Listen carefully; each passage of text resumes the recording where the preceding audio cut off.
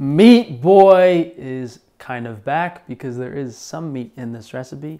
But today we are making penne vodka with all high quality, some organic ingredients. And I think it's one of the most popular like Italian American pasta dishes.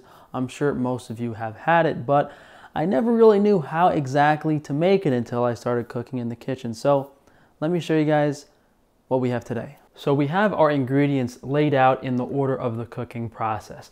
First, we're gonna saute some prosciutto with shallot and garlic and a little bit of butter. Sometimes they use onion instead of shallot. Sometimes they use pancetta instead of prosciutto. This is what I like. Then to that sauteed mixture, we're going to add either tomato sauce or tomato paste. Some recipes prefer one over the other. I'm going to use a combination of both as we see. This is organic from Italy. That's what I chose. I just bought a cheap vodka because my family's gonna have this.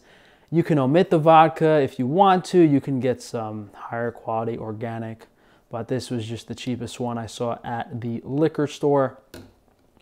Organic pasta, and this isn't the super highest quality. If you wanted to make something really special, you'll even like see the flour left on the outside of the pasta, but this is what we have. Then while we're boiling the pasta, we're gonna finish the sauce with some heavy cream and some Parmigiano Reggiano cheese, and then it will be topped with basil. Now, obviously, you know, we wish Frankie was selling us prosciutto that he was making in his basement, as well as some vegetables he was growing in the farm in his backyard, even some raw dairy he was milking from his own cows. But maybe before I leave this godforsaken planet, I'll be doing all of those things.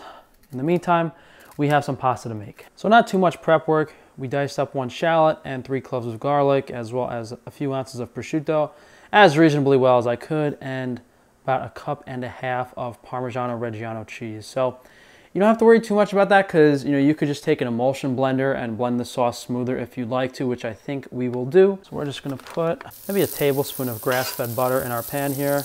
Add everything, the shallot, the garlic, this isn't gonna be like a deep caramelization, just, you know, a three to five minute saute to bring out the flavors.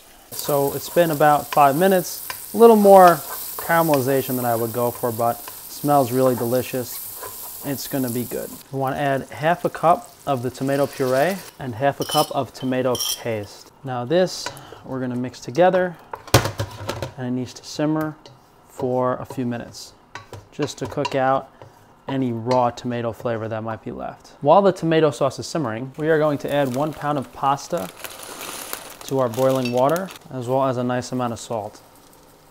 And that's what this recipe is for, one pound of pasta. So if you're making less pasta, maybe save some sauce for another day. So the tomato sauce has been going a few minutes. Now we're gonna add our vodka, two tablespoons.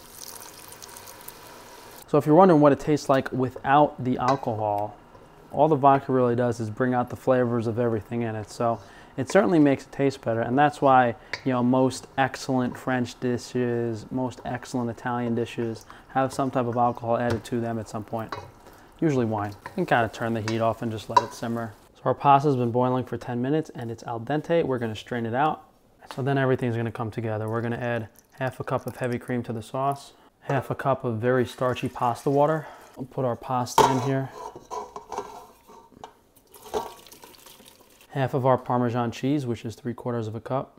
We start mixing everything together. And we have some really, really fresh and fragrant basil. This stuff is uh, super potent, so I'm not gonna put too much in.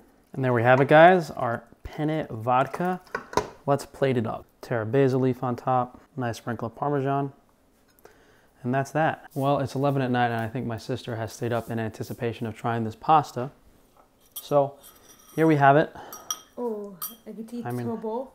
Well, let's not tell mom and dad. Not that they watch my videos and would find out anyway. Mm. Ginny, you're not in the camera. Mmm. Great pasta is so good. Mmm. Did you put in the sauce, Frank? It's penne vodka sauce, you know. Did you put extra vodka in this? Yeah, there's a little bit. You might want to. Really good. How does it compare to Olive Garden, Gina? It's better than Olive Garden. My parents, I don't know what's wrong with them. They go to like the worst restaurants, Olive Garden, these like What's this green stuff? crappy Italian restaurants. It's basil. Oh, How was it, Gina? delicious. Mm.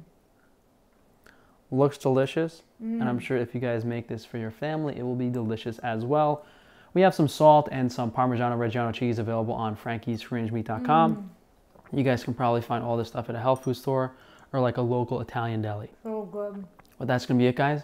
You can go to frank-tufano.com to support me through all my businesses and let me know what recipes you guys would like to see next week. I'm going to try to do some more meat and steak stuff, although, you know, over the past three, four years of cooking on YouTube, we've kind of done a lot of steak Mhm. recipes, but I'll come up with some new stuff. So thanks again for joining me, guys. Ah, And I'll just see you know, for- YouTube, and just so you know, YouTube people, my brother Frank. As you can see, uh, I get a lot that me and my brother do look alike. As you can tell, we have the same bone structure, except he's taller and better looking and kind of looks like a hotter version of George Clooney. I wouldn't say that, Gina. I think you just need to get a tan. Uh, so maybe we'll throw her in the, in the need- sunbed a couple times and you guys will I see a new Gina next video. Tanning. I need we need like a maybe like a spray tan. Bye YouTube people. All right, I'm we'll gonna go eat this bowl of pasta now. see you guys tomorrow.